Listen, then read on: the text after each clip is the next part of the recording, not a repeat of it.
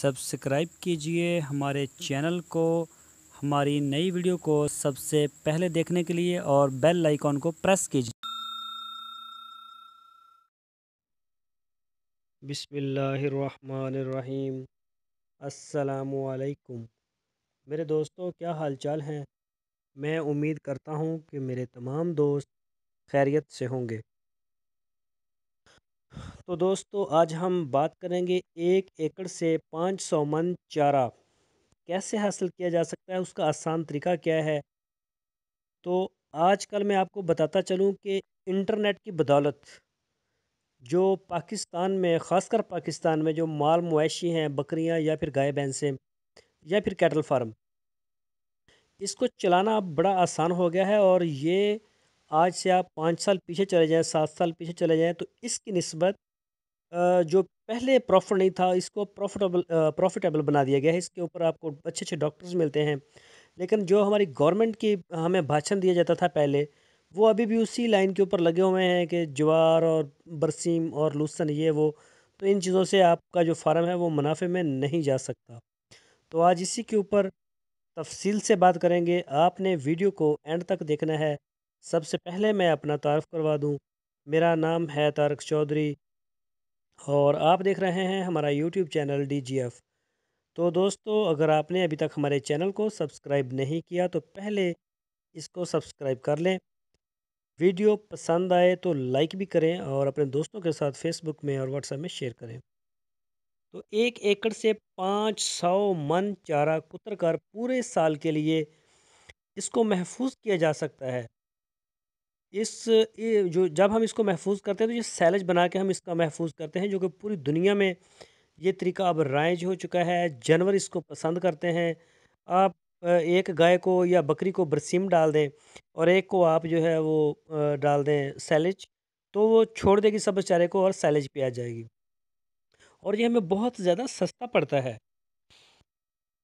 تو ہمیں بہت زیادہ سستا پڑتا ہے اور یہ خوراک کو مہیا کرنے کا ہمیں ایک آسان طریقہ بھی ہے، جو کہ جانوروں کو سارا سال مسلسل خوراک ملتی ہے۔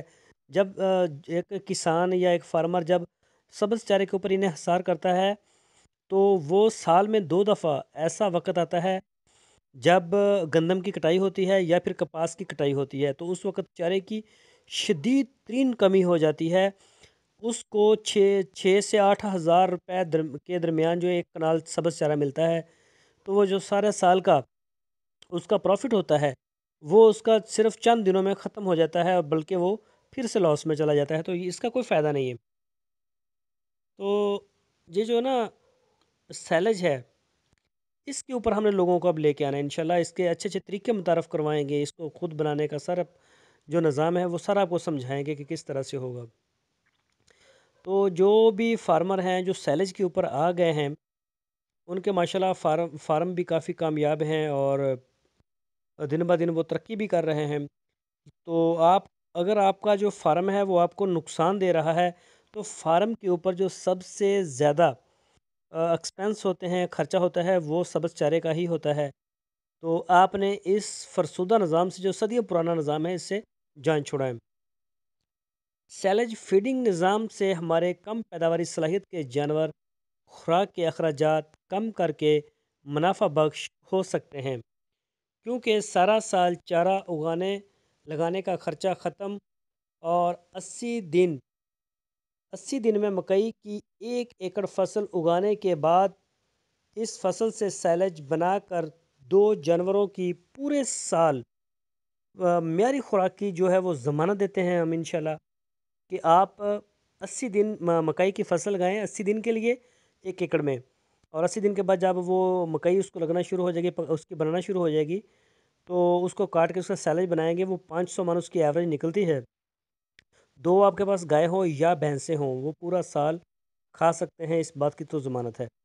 عام چارے سے دگنی طاقت کی وجہ سے سبز روایتی چارہ چالیس کلو، ایک اگر آپ کے پاس سہی وال نسل کی گائے ہے تو وہ تقریباً چالیس سے پچاس کلو کے درمیان سبز چارہ ایک دن میں کھاتی ہے، مگر سیلج صرف بیس کلو روزانہ وہ کھائے گی۔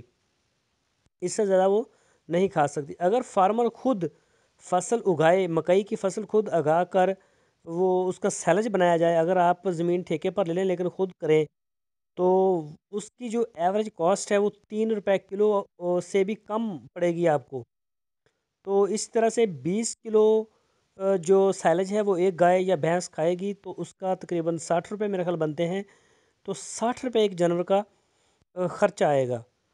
جب ساٹھ روپے خرچہ آئے گا، جیسے ہی آپ اس کو سیلج ڈالنا شروع کریں گے، تو وہ ایک سے ڈیڑھ لیٹر دودھ بھی اضافہ کر دے گی، کیونکہ اس میں وٹامن زیادہ ہوتے ہیں۔ جبکہ اس کے استعمال سے ایک کلو دودھ میں یقینی اضافہ سیلج کی قیمت اسی روز آپ کو واپس ہو جائے گی۔ مکئی کا جو سیلج ہے، اس میں سٹارچ تیس پرسنٹ نشاستہ جو کہ کسی اور چارے سے ممکن نہیں، جو کہ اس فصل کی چھلیوں کی وجہ سے ہوتا ہے، اس کے چھلی لگی ہوتی ہے، تو اس کی وجہ سے وہ اضافہ ہو جاتا ہے، تو وہ آپ کے پیسے ریٹرن ہونا شروع ہو جاتے ہیں۔ تو جانوروں کے لیے توڑی کی ضرورت ختم ہو جاتی ہے، آپ توڑی کو فروخت کر کے اس سے، اس کا جو بیج اور کھاد وغیرہ لینے کی جو سہولت ہے وہ آپ لے سکتے ہیں کہ توڑی کو سیل کریں، اس سے آپ زمین ٹھیکے پہ، اگر آپ کی اپنی ذاتی ہے توڑی، تو اس کو سیل کر دیں۔ سیل کر کے آپ اس سے مکئی کا بیج خرید دیں زمین کے اندر اس کو کاشت کر کے اسی پیسے سے آپ آسانی سے بنا سکتے ہیں۔ اور سارا سال چارہ نہ لگانے کی بچت اور اس رقبے سے نقد اور نقد آور فصل سے اضافی آمدن۔ اور جو ہائی بریڈ مکئی ہے پاکستان میں، یہ ماشاءاللہ اس کی کافی بڑی ایوریج نکلتی ہے ایک کھیت سے۔ تو گزشتہ تیس سالوں میں یہ جو ہائی بریڈ مکئی ہے یہ یا تو پھر ہمارے جو یہ دوسری کمپنیاں ہیں جو ہمارے لیے فوڈ تیار کرتی ہیں، وہ خریدتی ہیں، یا پھر وہ بھی کم ہی خریدتی ہیں، یا پھر یہ چلا جاتا ہے پولٹری کی فیڈ میں۔ تو آپ جو ہے اس کو اگر سیلج بنانے کے لیے استعمال کرنا شروع کر دیں گے تو آپ کی قسمت بدل جائے گی اور آپ کے جو حالات ہیں وہ بدل جائیں گے۔